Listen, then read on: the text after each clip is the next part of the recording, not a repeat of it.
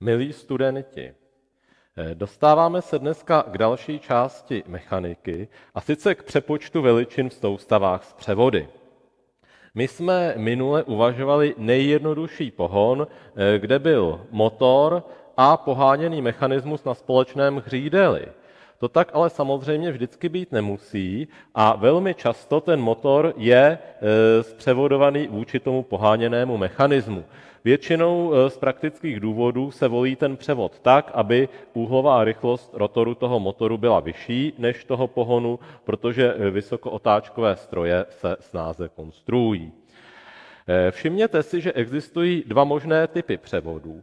Jeden převod je z otáčivého pohybu na otáčivý, eh, to je ten náš klasický třeba ozubený převod, ale můžete si tady také přemyslet řetězový, eh, řemenový, jiný.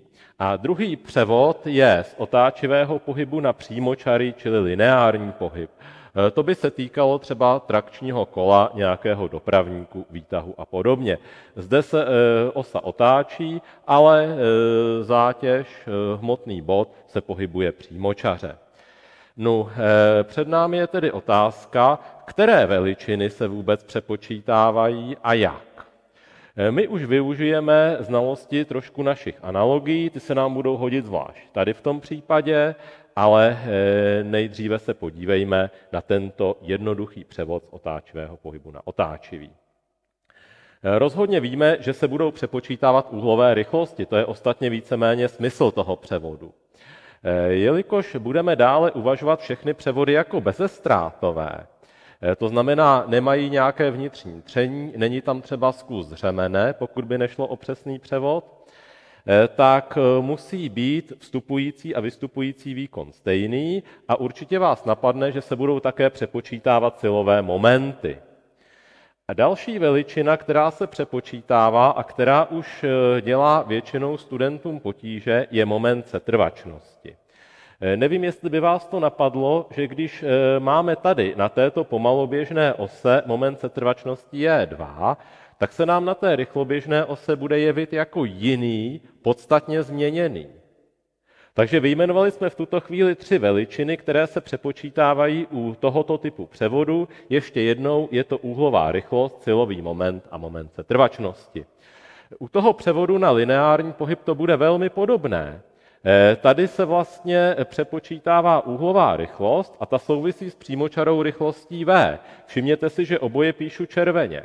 Eh, tady máme silový moment na té otáčející se ose a tady působí nějaká síla na ten hmotný bod. Velice často to bývá třeba síla gravitační, pokud se pohybujeme po nakloněné rovině, pokud zdviháme nějaké zařízení, ale nemusí být.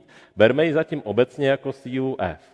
No a tady máme moment setrvačnosti, který, jak už tušíme, tak bude souviset s hmotností toho pohybujícího se hmotného bodu. Abychom tu situaci zjednodušili, tak uvažujeme, že vlastně eh, veškeré eh, momenty setrvačnosti a hmotnosti jsou pouze tady v tom poháněném mechanismu a tady pouze v tom hmotném bodu. Jinými slovy, pás, skladka a samotný převod jsou v tuto chvíli nevhmotné, nemají tedy svoje momenty setrvačnosti. Tak, eh, pustme se do přepočtu tedy ideálního bezestrátového převodu. Eh, první veličinou, jak jsem už říkal, je úhlová rychlost. Tady, prosím vás, když si představíte neprokluzující převod, tak vás určitě napadne, že ty relativní rychlosti toho eh, bodu na obvodu malého a velkého kola musí být e, nulové, to znamená, ty body se vůči sobě nepohybují, tudíž e, vlastně obvodové rychlosti jsou stejné, obvodová rychlost je omega r a odsud dostanete, že úhlová rychlost na straně 1 se rovná omega 2 krát r2 ku r1. Eh, z ryze praktických důvodů já to R2 ku R1 budu dále značit malým p a znamená to převodový poměr. To malé p je takhle definované a dokonce je šikovnější to malé p definovat eh, z ne z poloměrů kol, ale z poměru úhlových rychlostí. Uvědomte si, že existují třeba málo používané převody šnekové a tam byste rozhodně na tom šneku žádný R1 nenašli. Čili pro mě bude lepší, když si ukážeme ten základní převod třeba ozubený. Eh, tady si odvodíme P, že je R2 ku R1, ale dál budeme počítat, že převodový poměr už je vlastně poměrem omega 1 ku omega 2. Toto je daleko obecnější a platí to i pro převody, u nichž byste ty poloměry kol hledali těžko. Eh, pokud máme takovýto převod, tak myslím si, že vzorec fyziky je jasný. V se rovná omega r, odsud vyjádřím omega jako v ku r. Eh, tímto beru eh, přepočet úhlových rychlostí a tady úhlový rychlosti napřímo čarou za vyřešený. Další veličina, kterou budeme přepočítávat, jsou výkony. Pardon, omlouvám se, momenty.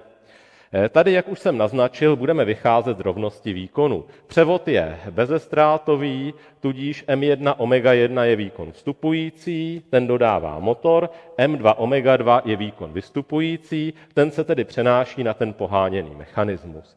Odsud velmi snadno vyjádříte, že M1 je M2 krát omega 2 lomeno omega 1, ale toto vlastně představuje to omega 2 ku omega 1 převrácenou hodnotu toho převodového poměru.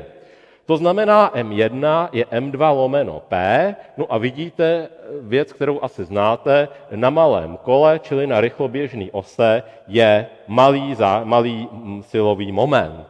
Ano, tak, to znamená, motor tady pracuje s velkou úhlovou rychlostí a malým silovým momentem. Eh, tady můžete udělat podobnou úvahu, ať na to půjdete jakkoliv, tak by vám vždycky mělo vít, že silový moment na této ose je roven součinu poloměru eh, toho, té kladky nebo trakčního kola a síly, kterou tady vlastně působíme na ten hmotný bod. Takže eh, prosím pěkně, tyto vzorce si zapamatujte a jdeme na další. Je před námi třetí a poměrně náročná veličina. Tou je eh, moment setrvačnosti. Eh, mě by zajímalo, z jaká bude výchozí úvaha, z čeho mám výjít, co se tady bude zachovávat. No, eh, pro ty z vás, kteří se učíte jak si jenom to, co musíte, tak by asi bylo dobré, abyste si zapamatovali, že to bude kinetická energie. A pro ty z vás, kteří chcete, míříte na vysokou školu a chcete se o mechaniku dál zajímat, eh, tak je tady takové jednoduché odvození. Já ho skutečně jenom nastíním, nebudeme počítat. Eh, týká se newtonovský a lagrangeovský mechaniky. Eh, vy asi víte, že Newton vlastně popsal na konci 17. století pohyby hmotných bodů pomocí sil hmotností a zrychlení. Newtonovy zákony předpokládám znáte a Newtonovy zákony vlastně popisují pohyb toho bodu, pohyb toho hmotného bodu vlastně v každém bodě prostoru. Na konci 18. století se ukázalo, že existuje ještě jiný přístup, velice zajímavý. Autorem toho přístupu byl francouzský fyzik Lagrange, který jakoukoliv mechanickou soustavu popsal jedinou funkcí. Prostě věřme tomu, že existuje nějaká funkce L, která popisuje, říká se jí Lagrangeova funkce, a popisuje eh, chování jakékoliv mechanické soustavy, ať to bude kivadlo, hmotný bod, cokoliv složitějšího. Eh, ta funkce je samozřejmě funkcí více proměných, nebudem to tady rozebírat. Eh, Lagrangeova mechanika je výrazně složitější než Newtonova a pro nás význam nemá. Pro nás bude daleko jednodušší se této celé Lagrangeově mechanice vyhnout, ale vytáhněme si z ní jediný eh, kousek. Věřme tomu, že když budeme mít dva mechanické systémy, tak se budou chovat stejně, pokud budou mít stejný právě ty Lagrangeovy funkce. To znamená, tady je nějaká e, krabička plná koleček, tady je krabička plná jiných koleček, e, v gravitačním poli jsou obě ty krabičky a e, teď vytáhneme někde prostě osu, kliku a mechanickým roztáčením se pokusíme zjistit, jestli ty krabičky jsou stejný. Případě, že v té soustavě nejsou tření a my tření neuvažujeme, tak můžeme říct, že ty krabičky budou stejný, pokud budou popsaný stejnými Lagrangeovými funkcemi. Respektive pokud ty eh, funkce pro první a druhou krabičku se budou lišit na nejvýš o nějaké funkce času nebo konstanty. Eh, tolik asi takové teoretické povídání, ze kterého moc nespočteme, Ale je před námi další. Co to vlastně to L je? Kdysi dávno se ukázalo, že v klasické mechanice za tu Lagrangeovu funkci můžeme brát rozdíl kinetický a potenciální energie. A tohle už začíná být pro nás zajímavý. To znamená, eh, oba ty eh, setrvačníky, já je za chvilinku ukážu, eh, obě ty krabičky, já je mám teď konkrétně naznačený tady, se budou chovat naprosto stejně, čili tato osa bude k nerozeznání od této osy, pokud rozdíl jejich kinetické energie a potenciální, samozřejmě v závislosti na úhlové rychlosti a úhlu, bude stejný. Tak, eh, tohle je obecná věda. My tady pracujeme s potenciální energií. Ta potenciální energie by teda obecně byla funkcí nějakého úhlu natočení φ a kinetická energie by byla asi funkcí úhlové rychlosti, to znamená derivace úhlu podle času.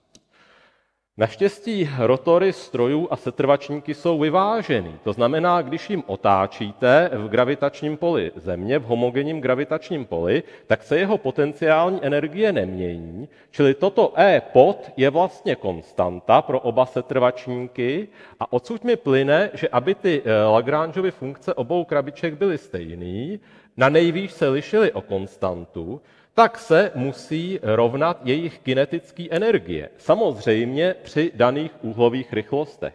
A vida, myšlenka už je na světě, oba setrvačníky musí mít stejné kinetické energie a samozřejmě tady dodávám při stejných úhlových rychlostech. Při omega A rovno omega B. Tak, takže eh, tuto myšlenku už by si měli všichni z vás pamatovat. Eh, přepočet momentů setrvačnosti vychází z rovnosti kinetických energií. To je velmi důležitá myšlenka. V krabičce A máme spřevodovanou soustavu, v krabičce B máme nespřevodovanou soustavu. No a e, když tady budeme otáčet úhlovou rychlostí omega 1, tady budeme otáčet samozřejmě stejnou úhlovou rychlostí, tak obě ty krabičky musí mít stejné kinetické energie.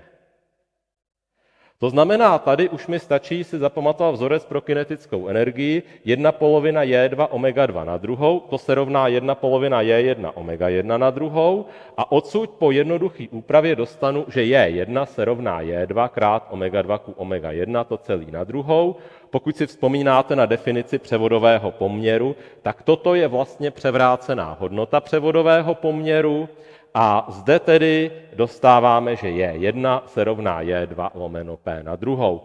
E, všimněte si, že já jsem tady malinko opomněl ten e, přepočet na přímočarý pohyb, tak já si myslím, že to už vůbec není obtížné. E, toto asi vyřešíte současně se mnou. Když známe výchozí myšlenku, čili rovnost kinetických energií, no tak budu-li se ptát, Tady máme přímočaře se pohybující hmotný bod, hmotnost m, rychlost v, jaký je tady moment setrvačnosti, tady otáčíme úhlovou rychlostí omega, no tak je to velmi jednoduché. Opět nahrazujeme krabičkou, která se bude chovat mechanicky stejně, to znamená v našem případě bude mít stejnou, eh, stejnou kinetickou energii. No a eh, můžeme napsat, že při stejné úhlové rychlosti tedy jedna polovina je omega na druhou se rovná jedna polovina mv na druhou, jedna polovina se nám asi vykrátí a odsud plyne, že je se rovná m kráte poměr v ku omega to celé na druhou. No ale eh, z výkladu eh, kinematiky víte, že tento poměr v ku omega vlastně představuje poloměr této kladky, čili můžu napsat, že moment setrvačnosti je tady m kráte r na druhou, kde r je převodový poměr této, eh, pardon, r je poloměr této kladky. Eh, můžeme si to představit tak, jako by nám vlastně tento lano přeneslo tu hmotnost sem na obvod kladky, to znamená, dostáváme moment setrvačnosti hmotného bodu který obíhá ve vzdálenosti r od osy otáčení. A jestli si vzpomínáte na tu prvotní definici momentu setrvačnosti, kdy jsem vám říkal, že je to suma MIRI na druhou, tak tady opravdu už není co sčítat. Tady máme jediný hmotný bod, takže i touto úvahou přijdu ke naprosto stejnému vzorci, je se rovná mr na druhou. Tak, to by bylo eh, k přepočtu veličin asi všechno. Děkuji vám za pozornost.